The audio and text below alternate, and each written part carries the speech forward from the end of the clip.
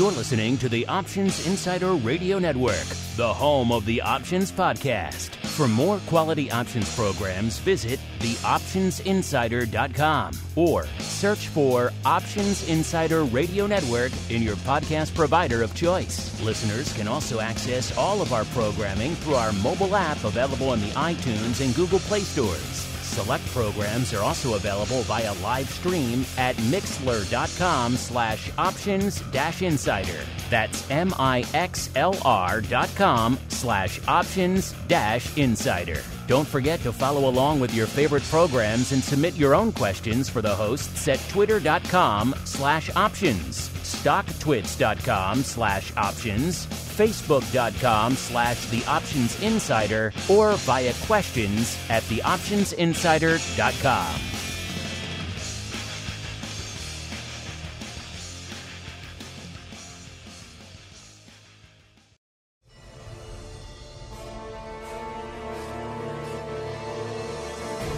You wanted it. You got it. A radio program that helps teach you options trading inside and out, basic to complex. This is Options Boot Camp. Whether you want to learn how to protect your portfolio, generate income, or even become a master of volatility, your Options Bootcamp drill instructors, Mark Longo and Dan Passarelli, will break it all down for you. If you trade options, you've got to ask yourself why would you choose an options trading platform that puts investors first? At public.com, there are no commissions or per contract fees.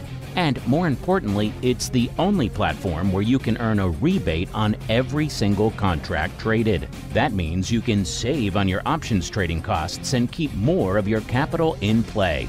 Whenever you trade options on public, your savings are automatically applied. So, don't change your strategy, change your platform and see the difference in your bottom line. No commissions, no per contract fees. And it's the only options trading platform where you can earn a rebate on every contract traded.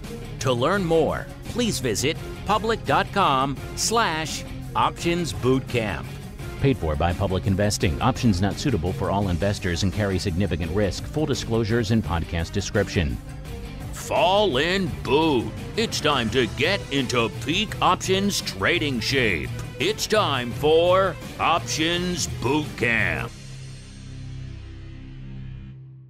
All right, everybody. Welcome back to Education Wednesday. Hope you're having a good trading week. We are closing in. In two weeks' time, listeners, we hopefully, ostensibly, will know who the next president of these fine here United States are.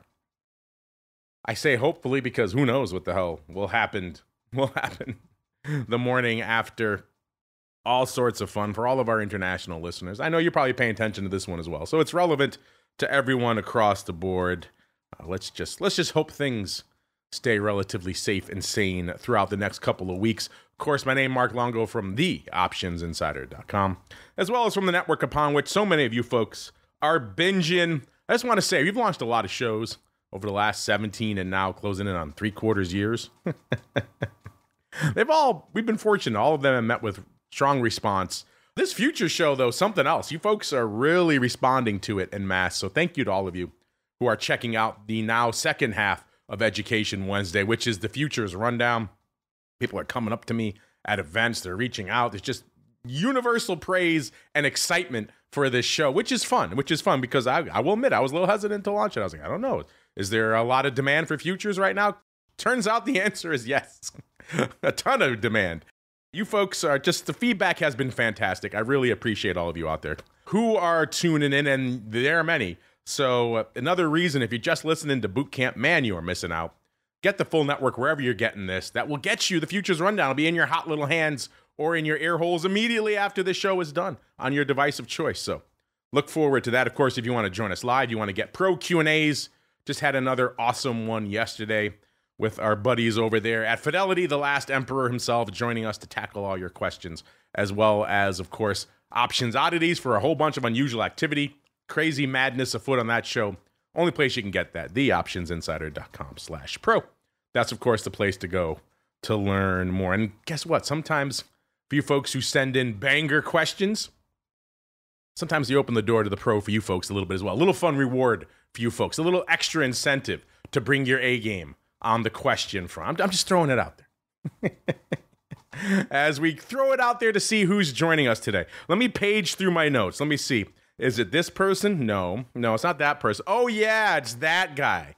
It's that, I think they call him Sergeant Passy, AKA Mr. Dan Passarelli from Market Taker Mentoring. Mr. P, what a surprise to talk to you on Education Wednesday, sir. I was not expecting it.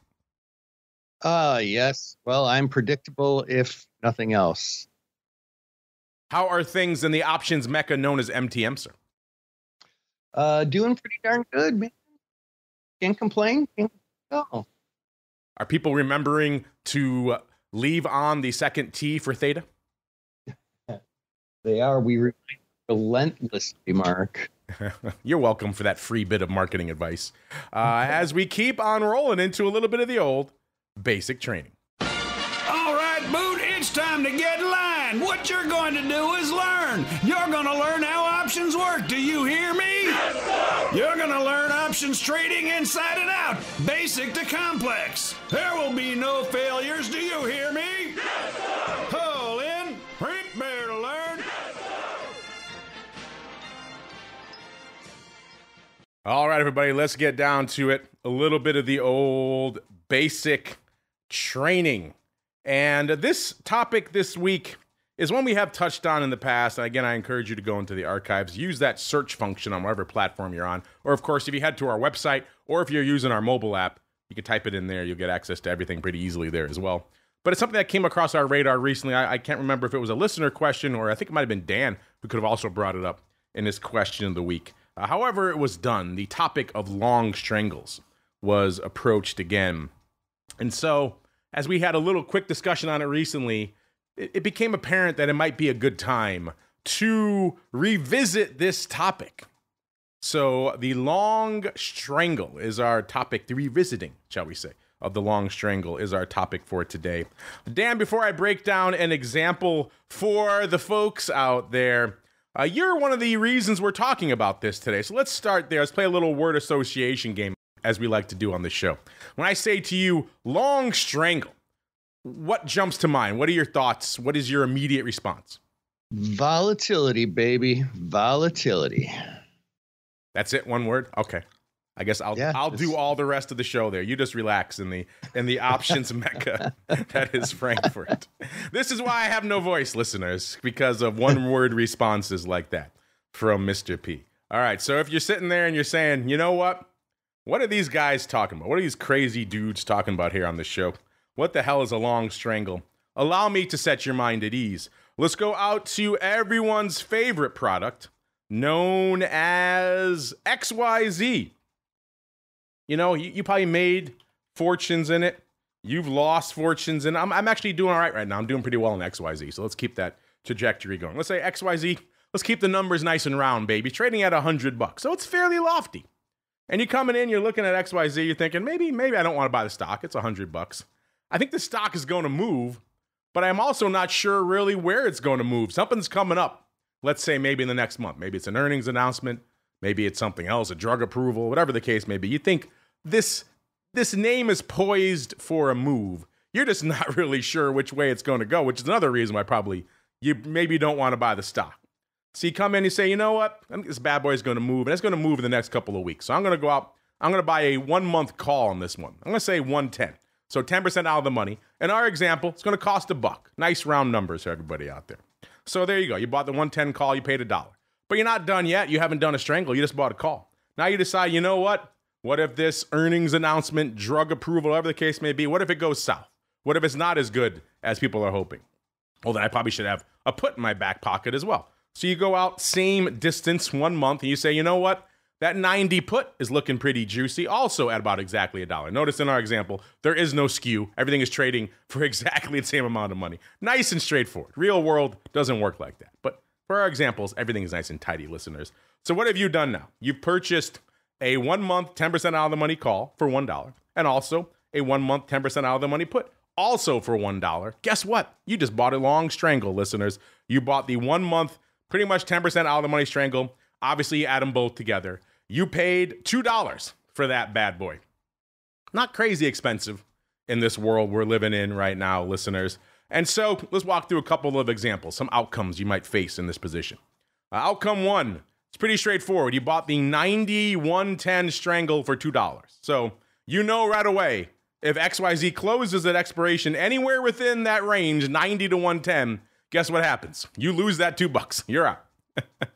so that should be painfully obvious now if it wasn't before. When you buy a strangle like this, you really need this thing to move. You are buying two out of the money options at the end of the day. You're not even buying at the money options like a straddle. You're buying out of the money options. So you really need this thing to kick it into high gear and do it quickly. So right there, you can see very simply closes between 90 and 110 at expiration. You're out your two bucks. Now, there is a scenario where that doesn't come to pass and it closes within there.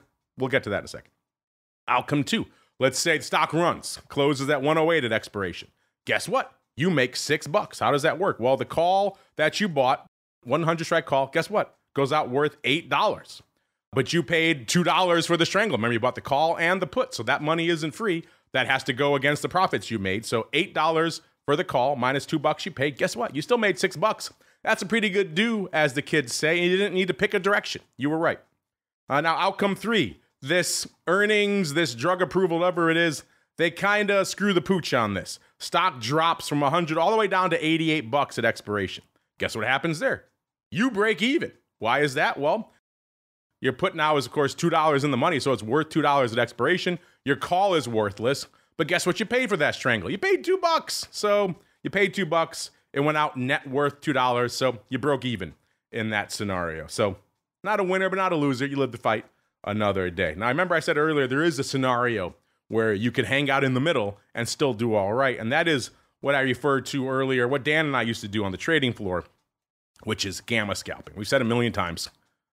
This is not really viable for retail, but I could hear someone out there listening to this show saying, What if you gamma scalped? Then if you stayed in between the strikes, you could still make money. So the answer is yes. So let's walk through a scenario for that as well. Let's say the stock is kind of range bound and it ranges between 104 on the upside and 96 on the downside before settling right back out, literally unchanged on expiration at $100. You might say, Well, you're out, right? You're out. You didn't get the move you need. But if you gamma scalp, you're going to be long a ton of gamma with this position now. So the stock rallies to 104. Let's say you're also a technical genius. You know exact tops to sell and bottoms to buy.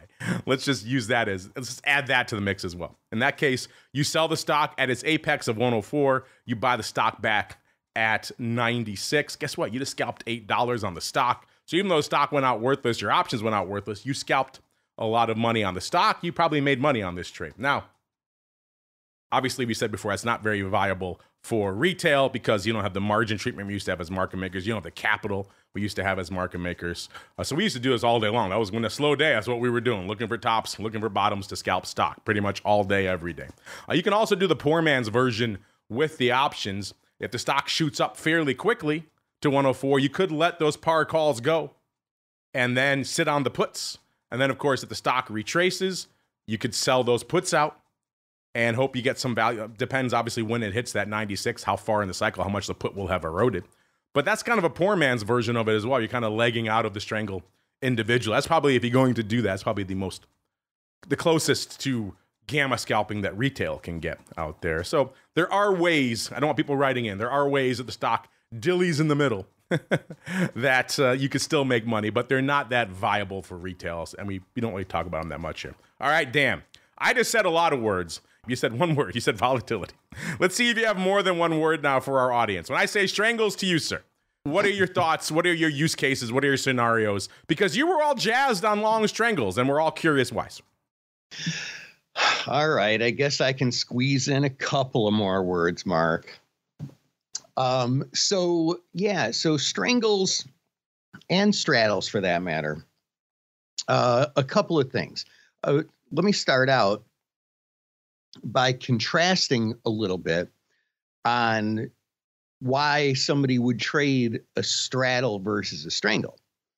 I get asked this pretty regularly, and and there is a reason for that. There's an answer to that question. So, if if I want to put on a pure volatility position where I make money whether the stock goes up or down. I just think it's going to move a lot. The go to that hits my mind is okay, yeah, straddle. But when I'm actually executing it and I look at where the stock is relative to the available strike prices, like sometimes if the stock is like maybe the strike prices are $5 wide. You know, you got like the 100 strike, the 105 strike, 110 strike, and the stock is at like 102 and a half. It's smack dab between two strikes. Well, if I choose the 105 strike, I actually have a positive delta position. If I choose the 100 strike, I might end up with a negative delta position. So, how do I fix that? Ah, there's where we select the strangle. because what I do is I, I buy that just out of the money call and just out of the money put. In theory, in oversimplified theory, that call and put should have the same delta, and so they offset each other, and I'm back to a pretty pure delta neutral pro volatility position. Now, I think we might have mentioned this on the show last week or the week before. Maybe there was some other webinar I did. I don't know. I've been doing a lot of webinars lately, guys. Um, some uh, what what tends to happen, especially when interest rates are not zero, which they've been for a couple of years now, calls end up like if a stock is exactly at the money, calls end up having a bigger delta than puts. Um, you know, like say it's a hundred strike that we're talking about, stocks right at a hundred. The hundred strike calls, they're going to have a bigger delta than 50, and the 100 strike puts are going to have a smaller delta than 50. And that has a lot to do with the fact that there's an interest rate uh, um, and the time value of money. Yeah, I'm pretty sure it was this show that we talked about that uh, last week.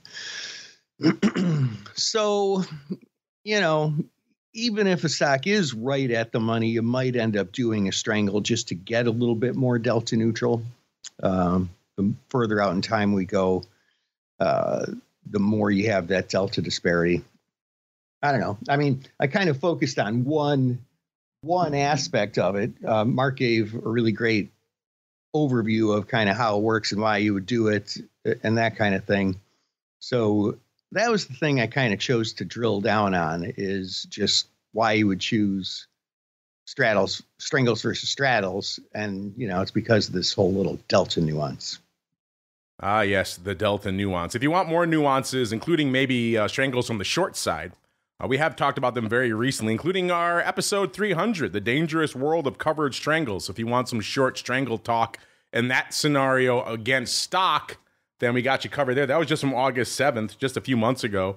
Uh, we also talked about it February 15th of last year, episode 224. Let's get crazy with covered strangles and straddles. So more covered strangles there. And episode 153, back from the heady days of September of 2021, we talked straddles versus strangles calendar spreads, and Secret Metallica. I think that was the week that Metallica came and played a secret show here in, in Chicago.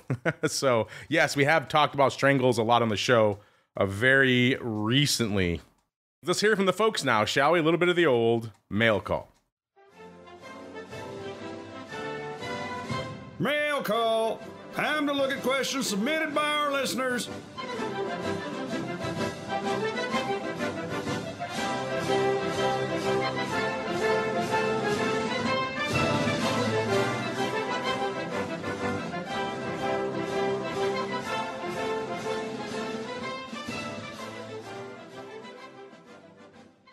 All right, everybody.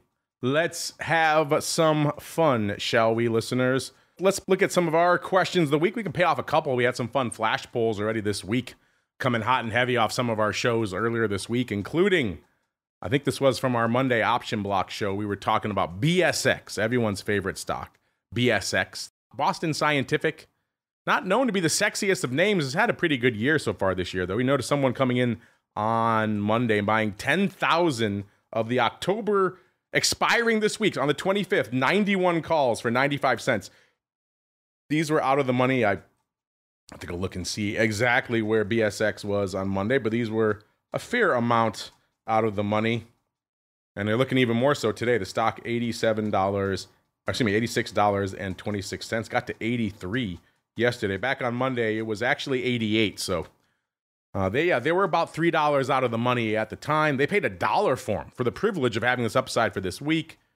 Worth noting, earnings are on Wednesdays. This was clearly an earnings motivated play. Uh, we just asked our audience at that price, are you a buyer or a seller? And it was a pretty even fight. At the end, the sellers took it 53.8%, 46.2% for buying. Dan, looks like right now the smart money is on selling, but they do have earnings, I do believe, after the bell today. So, oh wait, maybe maybe they had them before. Yeah, they had them before the bell. So I'm guessing the answer was to sell. Dan, what do you think? I would say I would have said sell for sure. It's amazing. Definitely. It's amazing how you knew that so well, sir. Your insight, your insight is beyond beyond peer, sir. All right, let's keep rolling out to our actual question of the week, which is live right now, listeners. You know, you, you folks may have heard. I don't know. Maybe maybe you heard there's an election coming up. So we said, you know, if you had to buy one straddle, this is kind of going back to our long premium trend and theme of the show today. We're going straddles this time. If you had to buy one straddle to hold through the election, which one are you going to choose? We gave you three choices and the infamous other. We gave you DJT, so obviously the Donald Trump media name. Uh, we gave you the November, these were all at the money at the time. Uh, November expiring on the 8th, so in the weeklies.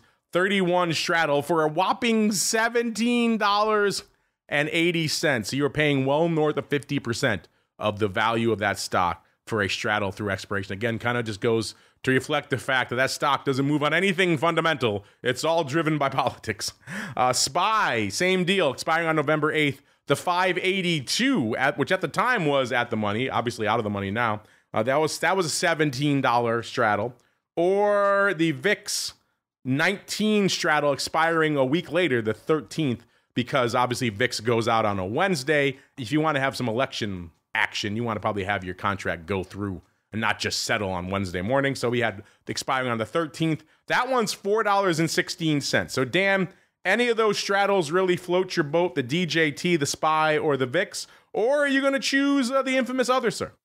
Oh, God, man. You know, uh, I mean, with the VIX, up above 20 uh, today, for those of you who are listening to this live, but still like, you know, 19 or whatever yesterday.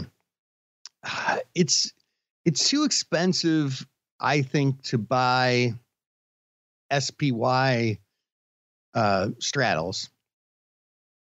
Um, I don't know. Gun to my head, I'd probably rather be a seller of that.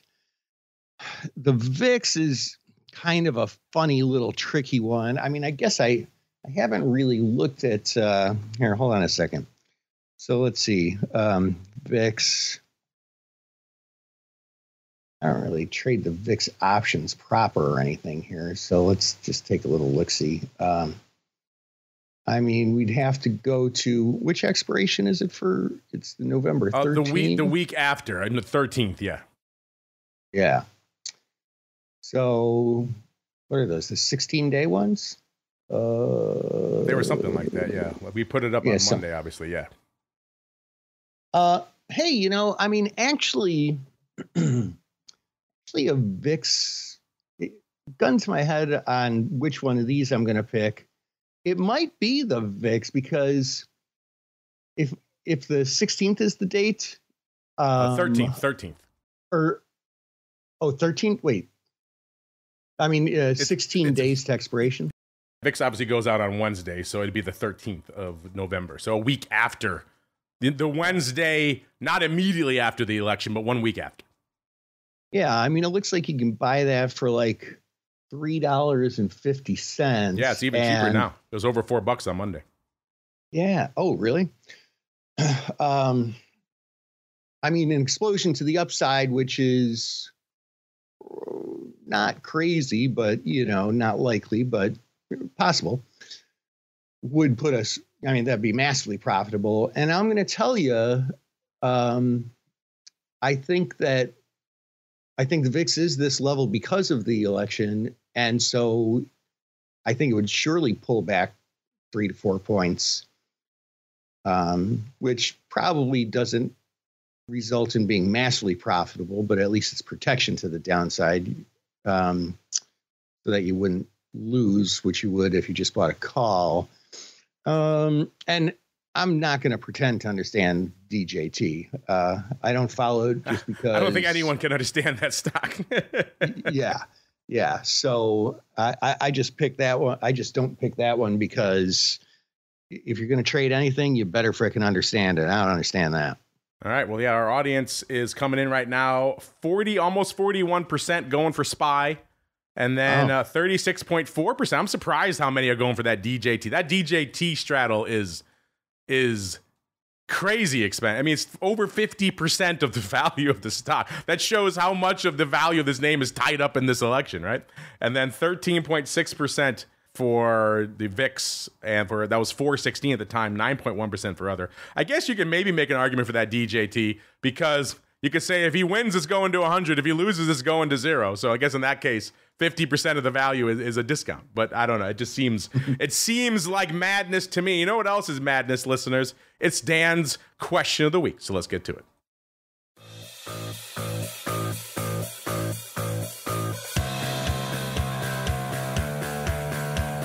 And now, it's the moment you've been waiting for. It's time for the Market Taker Question of the Week. All right, Senior AP, the floor is yours, sir. What you got for the folks this week?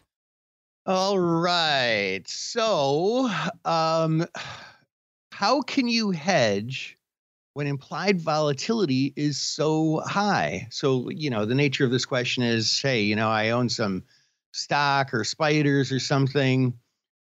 Puts are so gosh darn expensive. How the heck am I supposed to buy puts to hedge? So if you're asking yourself that question, it's a pretty darn good question uh, because it, it's tough.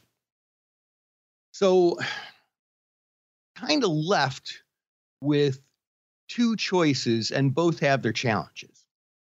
One is the first one I'll talk about is one that I don't really like to use that much, and that is buying a put spread. Now, the nice thing about buying a put spread is that you can hedge off a lot of the, uh, you know, volatility, extrinsic value by you know, when you're buying an overpriced put, selling yet a different overpriced put. But, you know, the problem there is you're only buying puts to hedge if you're just looking for a big, pretty darn big move. And if you get a pretty darn big move, well, you better pick the right short strike for that put spread. Otherwise, you're only going to be partially hedged. So that's why I'm not a mega fan of that. Uh, the other one that has its challenges that I'm still a bigger fan of is a split time collar, which is where you go ahead and you buy that massively expensive put, but then you sell an overpriced call, typically with a little bit less time to expiration so that it has a higher theta. But, you know, the tricky thing there is if you're selling closer to expiration, even though it might be more expensive from a volatility standpoint, it's still a cheaper option because it has less time. And so you have to go closer to the strike. And, you know, if it turns out you don't need the hedge, because let's face it, if you knew that a stock you owned was going down, you wouldn't hedge it, you would just sell it.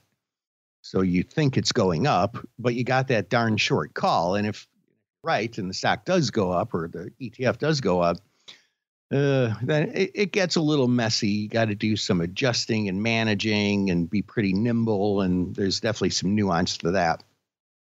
But those are the only two ways you can do it. So there. So there indeed. And let's see, listeners, get out of here from this week on a question from uh, new handle. This is collections with a Z. So I'm not sure what he's collecting. Maybe he's collecting options. I guess we'll find out he or she, I should say, he or she, uh, do you think it's okay for traders to begin their trading journey in options, or should they cut their teeth in, in stonks? yes, in stonks. Should they cut their teeth in stonks first before graduating to options? Ah, Dan, the age old question. Uh, has this ever happened at MTM? Has someone come to you at MTM who's a complete neophyte, knows nothing about markets, and somehow they found their way to you? That would be impressive. And they said, hey, should I learn stocks first before I come to you? Has that ever happened, Dan? And if so, what would you tell them? Um, yeah, I'm sure it's happened. I can't think of a, a specific example, but I'm sure it's happened. Um, I don't, you know, I I tell them that it's okay to go straight into options because you know you're always doing something you're doing something different as an option trader than you're doing as a stunk trader um, and especially actually if somebody starts out as an investor and then gets into option trading that's almost a problem like there's a lot of stuff that has to get fixed there because uh, your brain is required is required to work a certain way for the long term buy and hold stock investing. And you know, I I've had I had somebody ask me one time. This is in in an in person presentation. I was talking about buying puts, and the guy raised his hand. and He's like, "Well, why would anyone ever buy a put?" it's like, what? what are you talking about? Um, but you know, you just have that bullish bias when you're really entrenched brainwave wise in long term buy and hold stock investing. So yeah, I, I, I think it's great to start out your trading journey in options for sure. Dan and I are obviously uh, preaching to the choir a little bit. We're coming from the options world, so we see things through an options centric lens. But yeah, I don't, I don't see the harm. I think if you're going to come learn options, Dan, you're going to have to come to, into grips with Delta pretty quickly, I would think, and that's going to teach you about stocks whether you want it or not. So it's kind of hard to start and learn about options and become an adept options trader and not have some facility with the underlying. So I think you will get there if you come in on options, and I think you know Dan and I again preaching to the choir a bit. But uh, that said, there's room for all of it out there, and collections keep the fun coming out there? Great question. Collect. Let us know which how you proceed. Let us know what happens. Collection out there. We're looking forward uh, to hear from all you folks. That's going to do it for us on the old OBC today. But guess what? We're not done yet. Back in a little bit with the newest addition to the game, the Futures Rundown. Have you ever said to yourself, what, what the hell is RBOB anyway? Or why are there so many soybeans in, in a contract? All this crazy stuff Am I going to get a, a, truckload of soybeans dumped on my front lawn if I trade these things? We're actually going to get into that today. So if you're intrigued by that, or maybe terrified by that, you should be tuning in to the Futures Rundown. It's coming up right after this show. If you're listening live, if you're listening on demand, like I know most of you are, just hit next on your device of choice. Yet another reason you should be listening to the full network. And of course, if you want to go full, full, you want to go above and beyond you want to get the pro Q&As, you want to get the options oddities. Two additional shows coming at you, giveaways, live streams, all kinds of fun. the TheOptionsInsider.com slash pro is the place to go. And you know, of course, where to go to learn more about all of our friends over there at Public. It's just public.com slash options bootcamp. Great way to support the show is head on over there. Just go to that URL. It's pretty much all you have to do. And then you can check out what they have and proceed from there. Tell them what you like. Maybe tell them what you like to see them add to their platform. Guess what? Because you're coming from OBC, they probably will make it happen. They like us over there. So head on over public.com slash options bootcamp to kick the tires and light the fires. Hey, that rebate, not the worst thing in the world. Check it out over there. And Dan, where should they go if they want to check out all things MTM, sir? Yeah, sure. We love Options Bootcamp listeners. Um, you're our favorite. Go to markettaker.com. Market as in stock market, taker as in take what is rightfully yours, two T's in a row, markettaker.com. Don't forget the second T for Theta listeners, markettaker.com, the place to go to learn more. That's going to do it for us for right now. Back again in a little bit the futures rundown. Then back again with our usual array of content Thursday through Tuesday until we're back again next Education Wednesday, another episode of Options Bootcamp. Stay safe out there, everybody. If you trade options, you've got to ask yourself why would you choose an options trading platform that puts investors first? At public.com, there are no commissions or per contract fees. And more importantly, it's the only platform where you can earn a rebate on every single contract traded. That means you can save on your options trading costs and keep more of your capital in play. Whenever you trade options on public, your savings are automatically applied. So, don't change your strategy, change your platform and see the difference in your bottom line. No commissions, no per contract fees. And it's the only options trading platform where you can earn a rebate on every contract traded. To learn more, please visit public.com slash options bootcamp. Paid for by Public Investing. Options not suitable for all investors and carry significant risk. Full disclosures and podcast description. You're listening to the Options Insider Radio Network, the home of the Options Podcast. For more quality options programs, visit theoptionsinsider.com or search for Options Insider Radio Network in your podcast provider of choice. Listeners can also access all of our programming through our mobile app available in the iTunes and Google Play stores. Select programs are also available via live stream at mixlr.com slash options dash insider. That's M-I-X-L-R dot com slash options dash insider. Don't forget to follow along with your favorite programs and submit your own questions for the hosts at twitter.com slash options, stocktwits.com slash options, facebook.com slash the options insider, or via questions at theoptionsinsider.com.